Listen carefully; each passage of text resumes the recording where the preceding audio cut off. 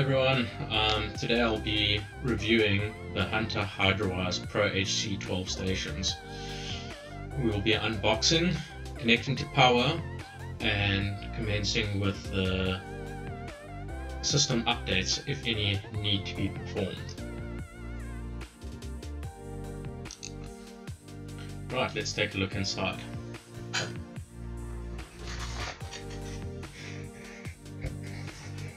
Inside the box, you'll get your uh, owner's manual, set of two keys, some mounting screws and plugs, and of course the, the Hydrawise itself.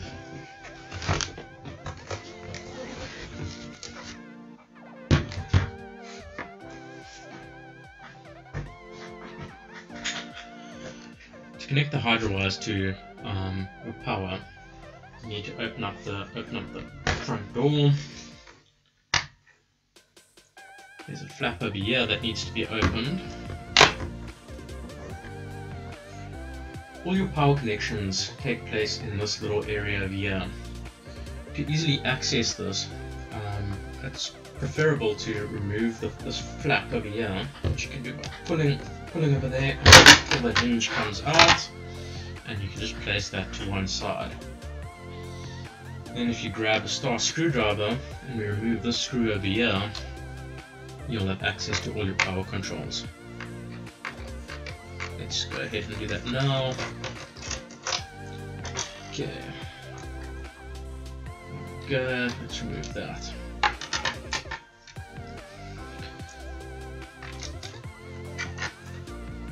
Right, uh, all the connections are clearly marked, making it very easy for connection. You'll have earth, live, and neutral positioned over here. And all we need to do is go ahead and connect that to power which we're going to do that do right now.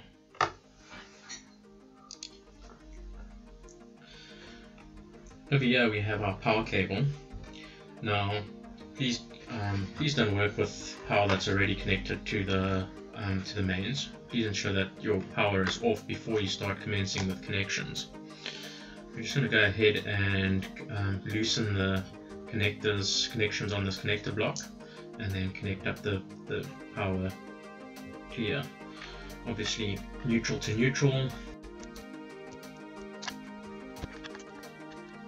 Live to live. And earth or ground to ground.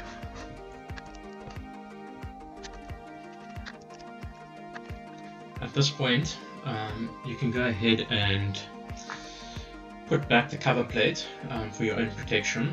Um, when working with mains power, we always need to be cautious and to avoid shock, I always recommend um, having this covered before connecting the computer to mains power.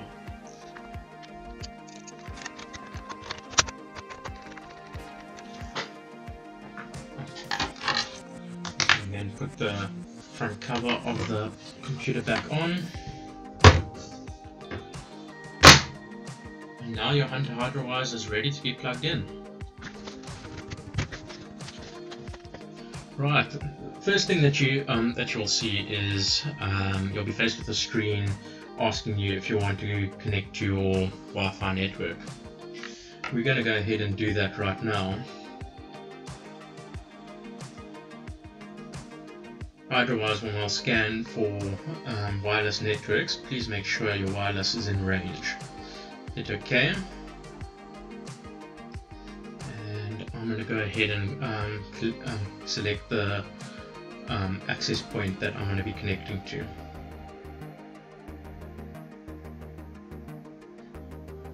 At this point you need to put in your wireless password.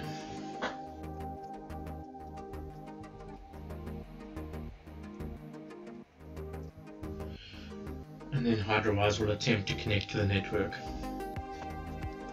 At this point you get a um, successfully connected to the network message and then the opportunity to connect it um, to your Hydrawise account. Now I always recommend at this point just leaving the controller for half an hour and not doing anything. Um, just so that it can run any updates if it is needed. While we wait for um, the Hydrawise to perform any updates, if there are any to be performed, I recommend that you go ahead and create a Hydrawise account.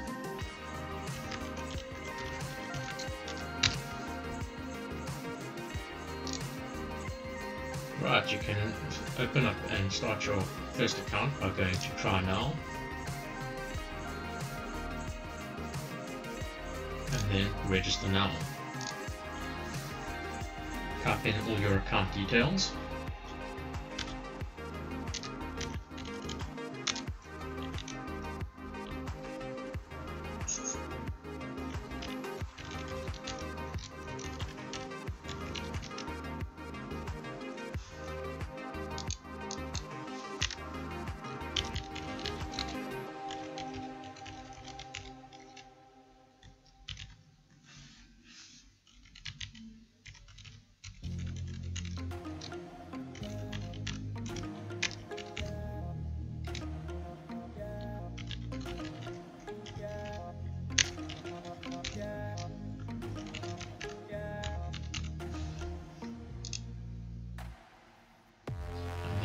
Ahead and register.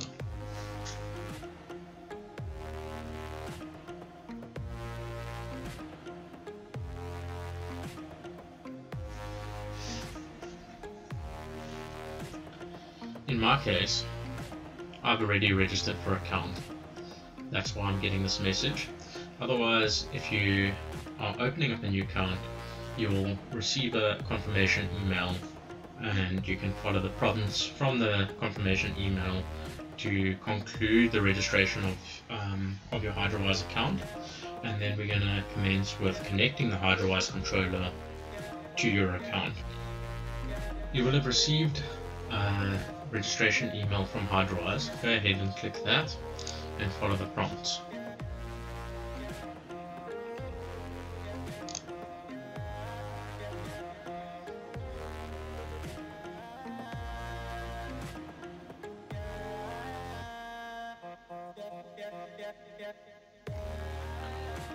At this point you need to create your password.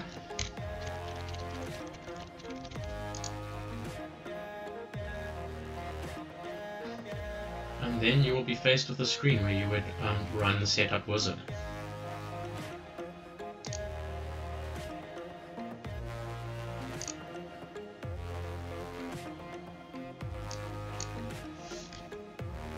Choose a name for your controller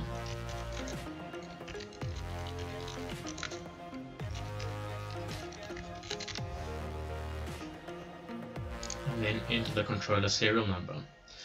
This will either have popped up on your screen or I'll show you where you can find it on the controller itself.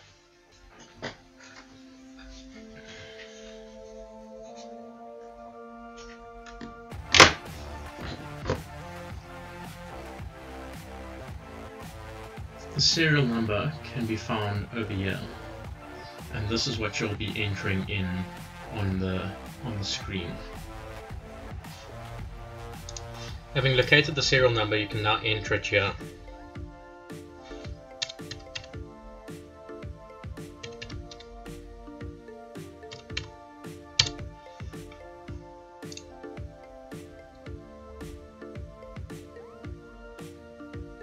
Seeing as that you've already connected your controller to the Wi-Fi, um, you can hit no over here. I always recommend going for advanced mode to fully reap the benefits of all the features that Hunter Hydrawise has to offer, you need to go for the advanced mode. And there you have it, you're ready to add your first zone. We will show you how to do this in a future video. That's all for now, and I am Jared, thank you for watching.